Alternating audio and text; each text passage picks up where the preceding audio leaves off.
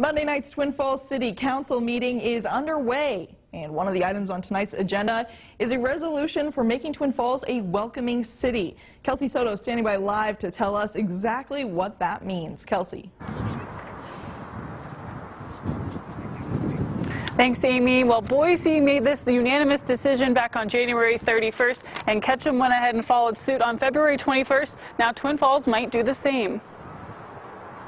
Refugee programs will not survive without our support. Dr. Mark Crandall and a few Boy Scouts are presenting their request for a welcoming city resolution at Monday night's Twin Falls City Council meeting. We hope that they learn about government, how the city works, how the city council works, and we're also hoping that the City Council will listen to us and pass a welcome resolution. The CSI Refugee Center is responsible for resettling refugees since 1980 through the United Nations. A lot of this has come to light because of the controversies with immigration and the Refugee Center in Twin Falls. Boise and Twin Falls are the only two cities in Idaho that resettle refugees. One of the resettlement agencies in Boise closed their doors in February due to the decline in refugee numbers. I don't think many people know how much our country has cut back in helping refugees from what we have always done for decades.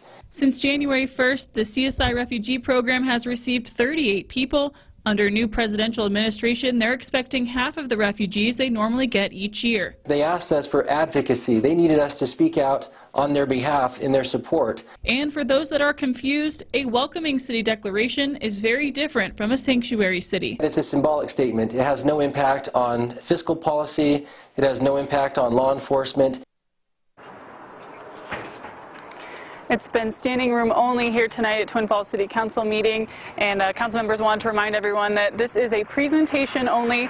Doesn't look like a decision will be made here tonight, but there was plenty of public comment. They've actually still been going on for over an hour with different public coming out to speak their mind on the topic. We'll be sure to follow this story. Kelsey Soto, KMVT Local 11 News.